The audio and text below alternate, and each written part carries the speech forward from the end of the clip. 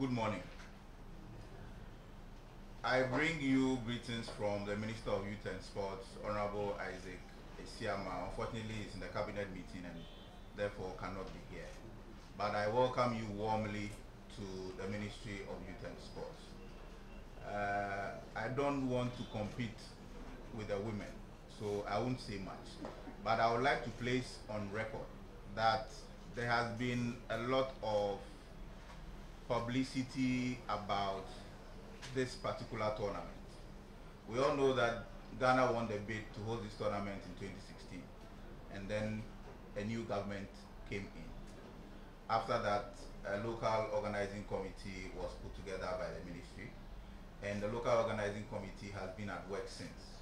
The nature of these tournaments is that you get CAF or the federations come in and out, inspect your facilities, work hand in hand with you until you are ready to host the tournament. And therefore, over the period, there has been some doubt and there have been stories in the media about whether or not we're going to host this tournament. I want to place on record today, here and now, that Ghana has the full uh, blessing of CAF to host the 2018 Women AFCON. I'll repeat that. Ghana has the full blessing of CAF to host the 2018 Women AFCON and it begins That's why he repeated it. and it begins November 17th and ends December 1st.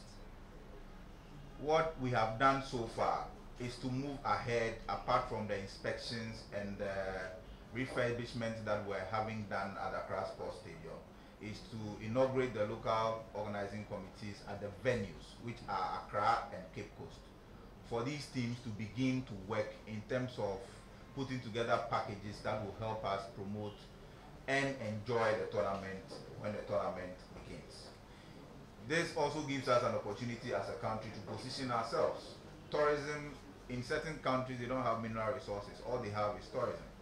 So if for us as Ghanaians we have mineral resources in addition to tourism, this tournament gives us a unique opportunity to position ourselves and let us show the world and the continent that Ghanaian hospitality that we've always been proud of.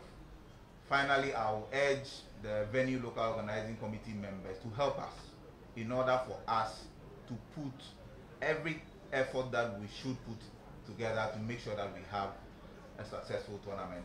And you have the full support of the Ministry of Youth and Sports. Thank you very much.